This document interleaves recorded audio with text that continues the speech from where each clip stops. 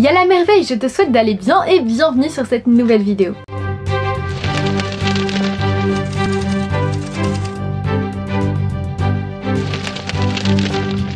Et aujourd'hui on se retrouve pour parler de l'adoration. C'est euh, ma forme de prière préférée du moment. Donc l'adoration tout simplement c'est prier devant le Saint-Sacrement. Le Saint-Sacrement, je vous mets une petite image juste là, c'est ce qu'on appelle la présence réelle. Lors de la messe, l'hostie qui est au centre est consacrée par le prêtre. Le prêtre va prendre un morceau de pain. C'est l'hostie non consacrée. Et il va réciter des prières.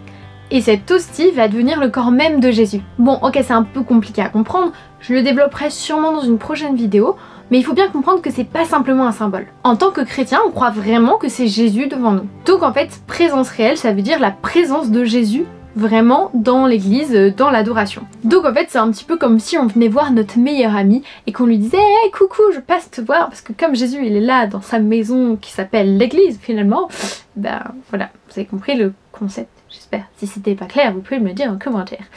Donc du coup, nous chrétiens, on croit vraiment que c'est Jésus dans cette Eucharistie qui est présent sur l'autel. Donc en fait, euh, dans l'ostensoir, donc qui est ce grand truc doré euh, tout plein de pourriture, il y a aussi donc la présence réelle qui est amenée sur l'autel et on peut adorer Jésus devant cet ostensoir. Souvent c'est dans une église, donc on peut l'adorer simplement en priant devant lui, on peut aussi se prosterner, enfin un peu comme on veut. Enfin non, il y a quand même des règles euh, minimum à respecter pour respecter les autres et respecter que Jésus, euh, Dieu, soit là devant nous, mais euh, en tout cas un peu euh, intérieurement prier de la manière qui nous convient le mieux, tout en respectant les autres. Et donc l'adoration, c'est être face à Jésus, le reconnaissant comme Dieu et roi. On peut y aller pour se prosterner devant lui, pour le prier, lui demander des choses, ou simplement pour passer du temps avec lui comme on irait voir un ami.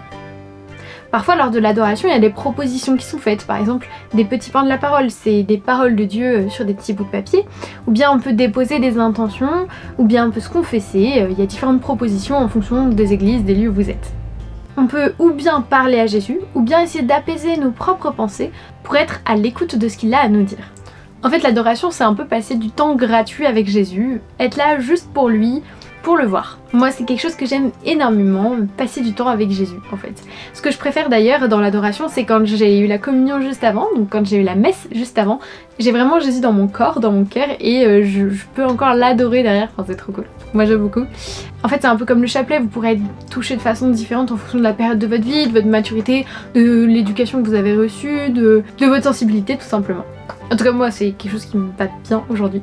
Mais c'était pas toujours le cas. Il y a eu des périodes où je me suis beaucoup ennuyée à l'adoration parce que tu peux ne rien avoir à faire. Et puis euh, aujourd'hui j'aime bien passer un max de temps avec Jésus. Et quand je suis devant lui, j'ai pas envie de le quitter parce que je suis là en mode oh non je veux pas quitter mon ami. Et eh bien merci beaucoup Merveille d'avoir regardé cette vidéo, j'espère que ça t'a plu, en tout cas tu peux me le dire en commentaire.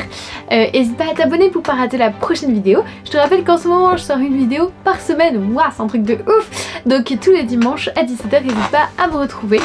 Euh, en tout cas moi je t'attends de pied ferme, euh, je réponds absolument à tous vos commentaires, je, je, regarde tous vos pouces bleus, n'hésite pas à m'en mettre, ça m'encourage vraiment super bien.